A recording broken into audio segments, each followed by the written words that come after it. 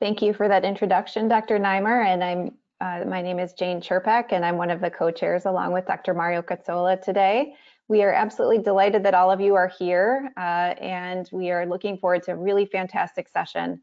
We're hoping that all of you will be very interactive. So during each session, you can type your questions into the chat box anytime during the session while the uh, each of the speakers are speaking. And right afterwards, we'll have live Q&A for each of these. So we're hoping to have very lively interactions and uh, we're looking forward to these sessions. So with that, I'd like to turn it over to Dr. Cazzola, who will give us the uh, logistics for today's uh, session. Good morning, everybody.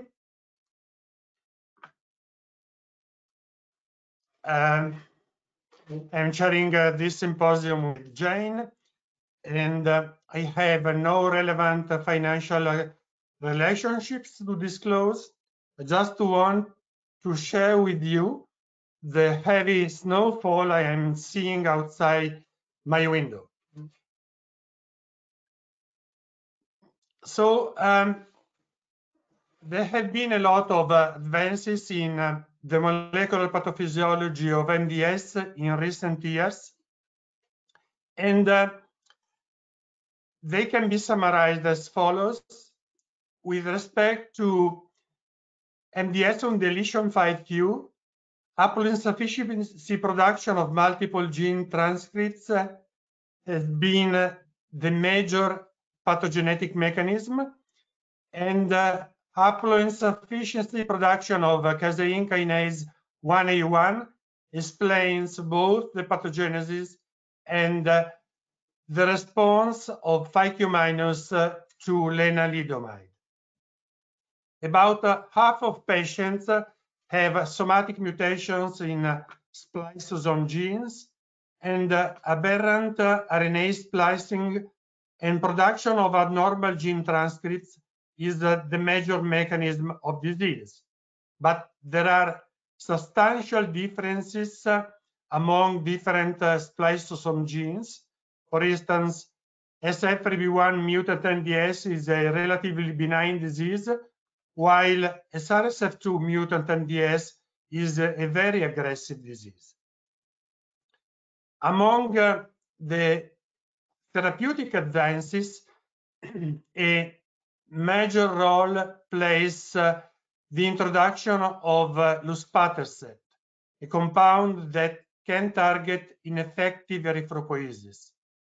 A recent study published in the New England Journal of Medicine has uh, shown that uh, luspatercept is particularly effective in MDS with ring sideroblast and uh, is able to abolish transfusion requirement in about 40% of these patients. The first speaker in um, this symposium will be Rafael Bejar, will discuss challenges in MDS diagnosis. Facing a patient with an unexplained cytopenia, the conventional approach is uh, morphological assessments of bone marrow and peripheral blood plus cytogenetics. Raf will discuss how molecular profiling based on a gene panel assay for somatic mutations and the assay for germline mutations in selected patients can further inform clinical decision making. Amy DeZern will discuss managing MDS in the wake of a global pandemic. She will particularly uh, discuss uh, those factors which uh, may impact decision making, in particular, age of the patient, goals of care, intent to, of cure, allogeneic stem cell transplant candidate versus not, and the availability of local blood bank as well as drug access. Katharina Goetze will discuss the use of venetoclax in higher risk MDS AML. A recent study in the New England Journal of Medicine by Kurt DiNardo has shown that the combination of azacitidine plus venetoclax is superior to in alone in uh, elderly patients with AML who are not eligible for aggressive chemotherapy. Saar Gill will discuss uh, the role of CAR T cells in myeloid malignancies. There is now extensive clinical experience in the treatment of lymphoid malignancies with CAR T cells, while only few patients uh, with AML have been treated uh, so far. Saar has been a pioneer in the field and uh, his first preclinical paper on this topic uh, was published in Blood in uh, 2014. Stéphane de Botton will discuss uh, novel targeted therapies. About 10 to 20% of MDS patients have a somatic mutation in IDH2 IDH1 or TP53. And uh, specific inhibitors of these mutant genes are available, particularly enasidenib for IDH2, ivosidenib for IDH1, and APR246 for TP53. Before each presentation, we will have a poll question and uh, you will be invited to vote the same poll question will be presented after each talk and uh, you will be invited to vote again.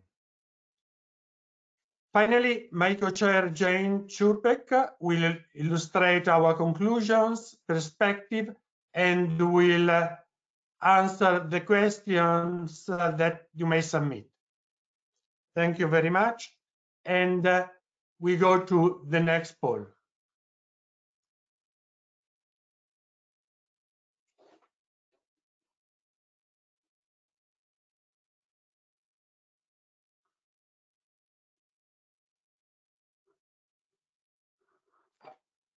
So the first uh, quick poll is as follows.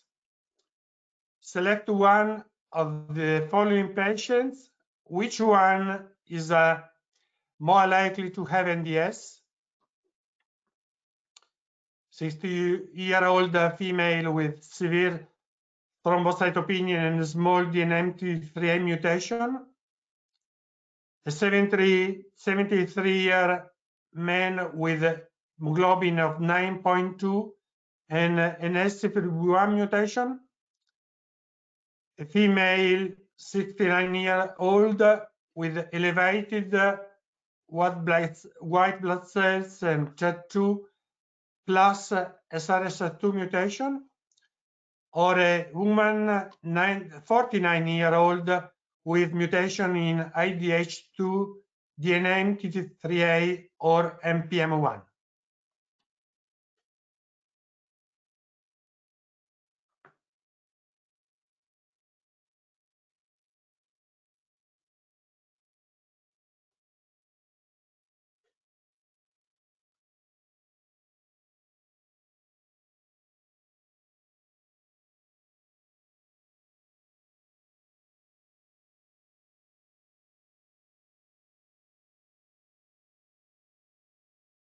So now the first speaker is the Raf Bejar.